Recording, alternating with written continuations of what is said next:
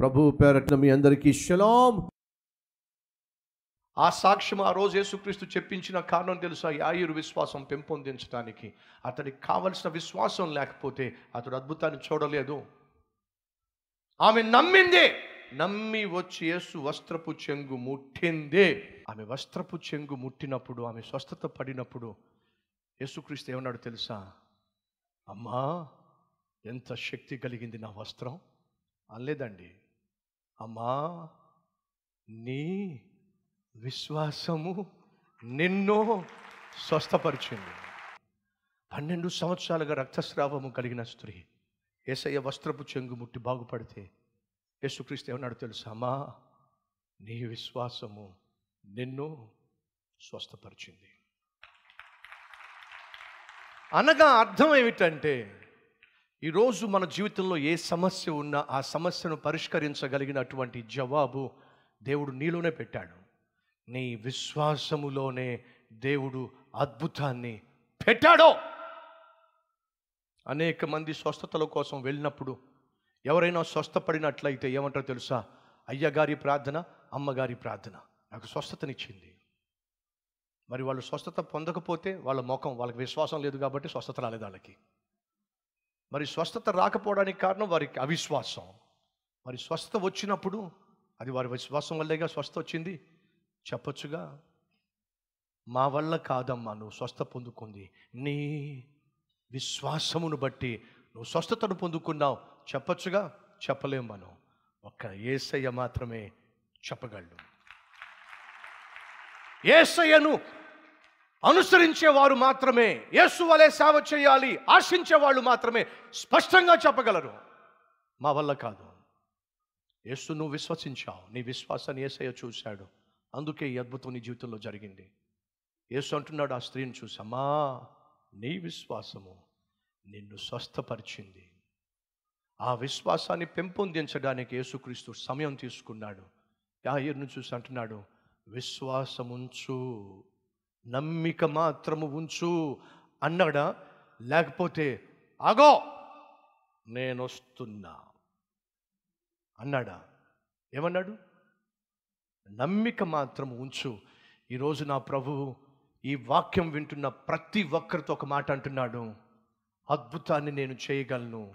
నువ్వు నమ్మిక మాత్రము ఉంచో.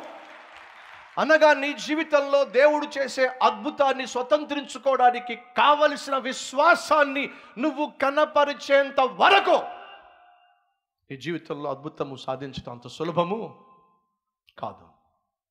ఆలస్యం అవుతుంది ఆలస్యం అవుతుంది ఆలస్యం అవుతుంది ఆ ఆలస్యానికి బహుశా కారణము నువ్వు జవాబు పొందుకోవడానికి కావలసిన తగిన తగిన విశ్వాసాన్ని నువ్వు కలిగి ఉండలేదేమో. అందుకే యేసుక్రీస్తు ఆలస్యం చేస్తున్నాడేమో. ఆమె పన్నెండు సంవత్సరాల ఏటట ప్రాయము కలిగినది. పన్నెండు సంవత్సరాల వయసున్న ఆ అమ్మాయి పన్నెండు సంవత్సరాలుగా సమస్య గుండా వెళుతున్న ఈ స్త్రీ వీళ్ళిద్దరూ సమస్యలు ప్యారలల్గా ఉన్నాయి. ఆ సమస్యలిద్దరినీ ఒక చోటకు తీసుకొచ్చి ఎందుకు సాక్ష్యం చెప్పించాడో తెలుసా? యాయురు విశ్వాసాన్ని ఘనపరచడానికి బలపరచడానికి ఆ విశ్వాసం పూర్తి స్థాయికి చేరేంత వరకు ఆ సాక్ష్యం యేసు చెప్పించాడు. ఫలితంగా విశ్వసించినటువంటి యాయిరు జీవితంలో అసాధ్యాన్ని సాధ్యపరుచుకోగలిగాడు. ఈరోజు నా దేవుడు నీ జీవితంలో జవాబు ఇవ్వడానికి సిద్ధంగా ఉన్నాడు కానీ ఆ జవాబును పొందుకోవడానికి కావలసిన విశ్వాసం నీకుందా? ఆ విశ్వాసాన్ని మనం పెంపొందించుకోవడానికే వాక్యం చదవాలి. వినుట వల్ల విశ్వాసం కలుగుతుంది. ఆ వినుట దేవుని గూర్చిన మాట వల్ల సాధ్యమవుతుంది. అడుగుతున్నానో ఈరోజు నీ జీవితంలో అసాధ్యము సాధ్యం కాకపోవడానికి కారణం దేవుడు కాదండి. ఆయన పర్పస్ఫుల్గా ఆలస్యం చేయటం లేదండి. తగిన విశ్వాసం నీలో లేదు కాబట్టి నువ్వు అద్భుతాన్ని ఆశ్చర్య కార్యాన్ని పొందుకోలేకపోతున్నావు. ఈరోజు ప్రార్థన చేస్తావా? మహాపరిశుద్ధుడు అయిన ప్రేమ కలిగిన తండ్రి నువ్వు ఆశ్చర్యకరుడువు అద్భుతాలు చేసే దేవుడవు. అసాధ్యంగా ఉన్న వాటిని కూడా సాధ్యపరచడానికి చాలిన దేవుడవు. అదే సమయంలో అనేక సందర్భాల్లో మేము అనుకుంటూ వస్తూ ఉన్నాం. ఎందుకో దేవుడు ఆలస్యం చేస్తున్నాడు. ఎందుకో దేవుడు నా ప్రార్థన ఆలకించటం లేదు. నా కన్నీటిని కొట్టివేయటం లేదు. నా అవమానాన్ని తొలగించటం లేదు. నాకున్న అడ్డులను అడ్డు బండలను దూరం చేయటం లేదు. ఎందుకో దేవుడు అంటున్నాం కానీ వాస్తవంగా మీరు మా పట్ల వ్యాధ్యమాడడానికి మీరు మా పట్ల అద్భుతం చేయడానికి మీరు మా పట్ల ఆశ్చర్య కార్యాలు చేయడానికి సిద్ధంగా ఉన్నాం. కానీ పొందుకోవడానికి తగిన విశ్వాసం మాలో లేకపోవడమే మా లోపం. అయ్యా నీ వాక్యం చదివినప్పుడు అది విశ్వాసాన్ని ఇస్తుంది.